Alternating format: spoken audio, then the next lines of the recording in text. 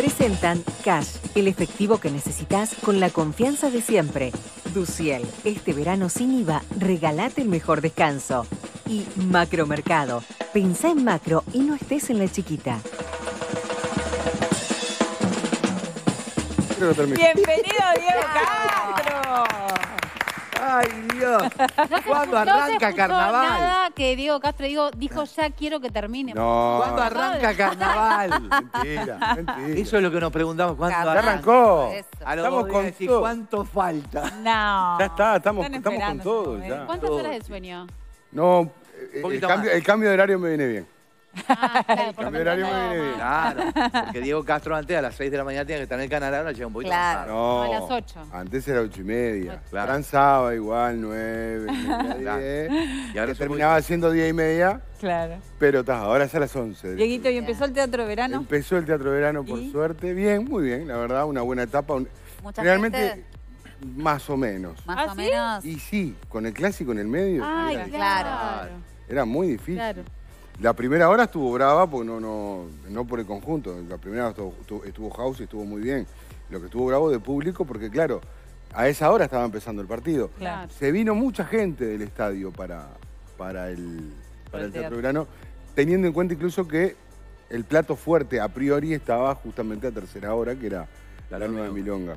Pero, pero sí, estuvo medio flojo de público. Creo que lo único, el único detalle fue ese de una primera etapa que realmente estuvo muy bien.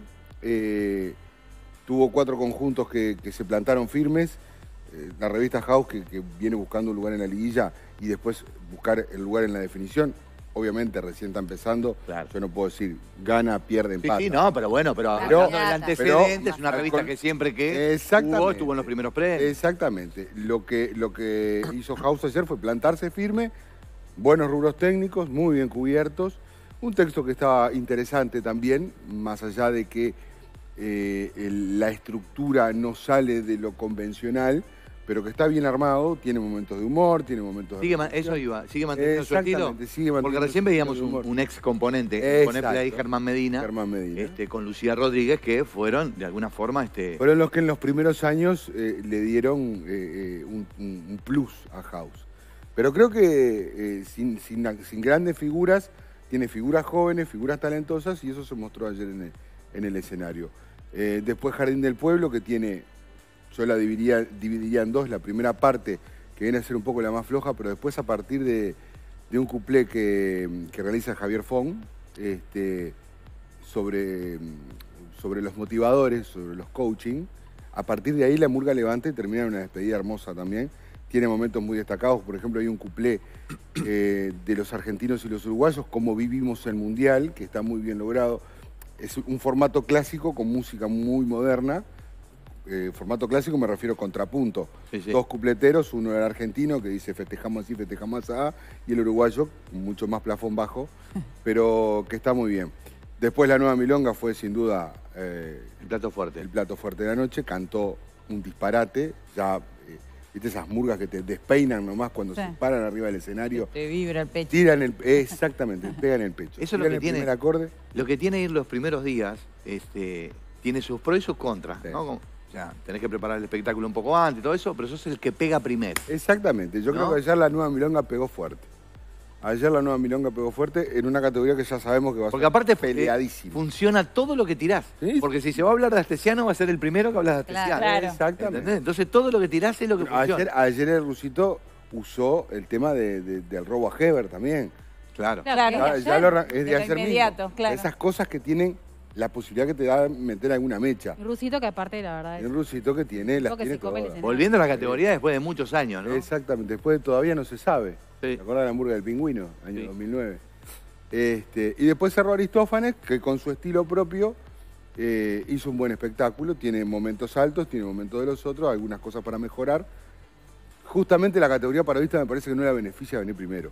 ¿No? No, no. ¿Por? La categoría parodista necesita un poco más de, De rodaje. De rodaje. de rodaje los tablado. tablados, sí, Claro. sí, sí, sí. Pero digo, de cualquier manera me pareció un espectáculo muy bueno. Siempre, Dos parodias, Aristófanes Mulan siempre y- plantean espectáculos muy inteligentes. Sí, exactamente, exactamente.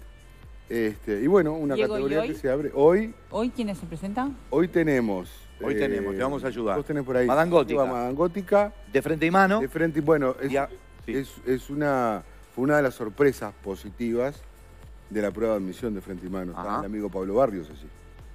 Ah. Este, Pa- eh, Diablos Verdes. Diablos Verdes Diablo. y Momo Sapiens. Momo Sapiens. Bueno, eh, es una etapa de la cual se puede esperar una madangótica que tiene que levantar los- la- las, las actuaciones de los últimos años, sobre todo los últimos dos. Eh, de frente y mano, ya dije, es una de las sorpresas de la, de la prueba de admisión. Diablos Verdes, eh, uno ya sabe lo que va a haber cuando va a haber Diablos Verdes, mucha Clásico, denuncia. decís. Exactamente, mucha denuncia, mucha, mucha protesta, eh, mucha crítica. eh, y el cierre con Momo Sapien, con ese humor tan particular de Horacio Rubino, que este año no va a estar en el escenario, pero que sí tiene un cacho Denis que siempre figura. Ajá. Un cacho de Denis que vuelve también. de- Que vuelve también después de unos cuantos años. El otro día estuvimos en el ensayo, estuvimos charloteando un ratito ahí con el cacho. ¿y cómo ven los tablados, la concurrencia, la Bueno, gente viene apoyando? estuve el fin de semana hice el viernes el Que bien Liverpool. Malvin. Exacto. El viernes, fuiste al, al Liverpool, me muero. el viernes fui al Liverpool. ¿Y? Claro, eh, Ah, ¿cuántos habría, años eh, volvía después de 20 años. 20 años. Ah, 20 sí. años prácticamente. Este, me faltaba la- la- el techo que tenía antes, El techo. pero digo, después está igual. Es ese típico tablado de barrio que está bueno para ir, para ver este, los espectáculos, tiene buena amplificación, en fin. Estaba más o menos de gente el viernes porque en determinados momentos incluso se puso a llover. Sí. De hecho, la nueva Claro. milonga, la nueva milonga ahí en el, en el en el Liverpool actuó bajo lluvia, igual que los muchachos. Iba a actuar la, la gran muñeca, pero, pero se suspendió. El sábado, eh, el Malvin lleno, pero de bote a bote, y, fu- y- y por lo que me pasaron, por lo que me comentaron, el primero de mayo lleno, el velódromo lleno, todos los tablados llenos. El domingo me fui, fui a hacer una, una previa con Doña Bastarda en vivo, Ajá. y después ya me quedé, ya salí a hacer tablados con ellos. Y también vi mucha gente en los tablados. Eh, tuvo tres tablados de la murga, fueron a- al, al Molino del Galgo, mucha Sí. gente. En el único momento que amenazó llover un poquito, que de hecho creo que uno o dos tablados se suspendieron ese domingo. El Jean, hermoso, está hermoso el Jean, y también lleno de bote a Sí, sí, bote. sí. Y cerramos, bueno, de vuelta en el Malvin, que no, es- no tenía la gente que tenía el, el Claro. sábado, pero que estaba, estaba con mucho público. Sí, la gente Hay mucha se empieza a gente con acomodar. ¿no? La Sí, gente, claro. No, pero además hay otra cosa que me parece que es fundamental. Después del año 2022 que tuvimos, donde arrancamos que me siento a tres este, asientos de, Ay, de- de- claro. de mi vecino, que voy con tapaboca, después de todas esas restricciones, Mm, este año la gente tiene ganas de ir a ver el carnaval y de claro, estar, y Claro. de de otra y de manera. ver Sin estar todo. pensando Bueno, nada, y con como respecto, antes. con respecto a eso, eh, volvió todo a la vieja normalidad, todo a la vieja usanza, a la vieja normalidad. La, can- la oferta gastronómica que hay en el No. Ah, sí. no es como cuando uno iba al Liverpool. No, que era tenías- que te- pancho y chorizo. No, mi madre sacaba del tupper el refuerzo y... Bueno, no, no, pero el, el tupper sigue existiendo. Claro, porque eso sí. No tampoco había, da para Era un folclore especial. Lo que te noches. compraban ahora. Vas No. y tenés que ir Claro, y la Pero media pará, Claro. pero tiene un Claro. folclore especial Tenés- también. ma- más, más Ahora el allá, tupper, y vas pasando el tupper así, bueno. Sí. silla. más allá del chorizo y de la hamburguesa clásica que que, hay, había con suerte pancho. que arepas, que papas fritas, Ah, pasta. Empanada, hasta raviola. No, no, todo. Es un restaurante. Claro, si vas con niños, por eso te digo, medio aguinaldo. Te- o sea, lo menos que hacen en verte. Medio aguinaldo con suerte, aguinaldo completo. Buenísimo, Diego. Bueno, disfrutando entonces. Disfrutando. Ese por cansancio, suerte. pero no, lindo, pero a ver, disfrutable. yo- ¿A qué hora te agotaste ayer? ayer dos y media de la mañana. Ah, temprano. No, temprano, temprano. Este año me estoy Para que, temprano. para que empiecen los festivales. y- No, bueno, pero eso es los fines de semana. Ya estoy viejo. Me cuesta la recuperación después. Diego, muchas gracias. Nos vemos la Gracias próxima. a ustedes. Nos vemos la próxima. Vamos a la pausa. Pausa. Dale.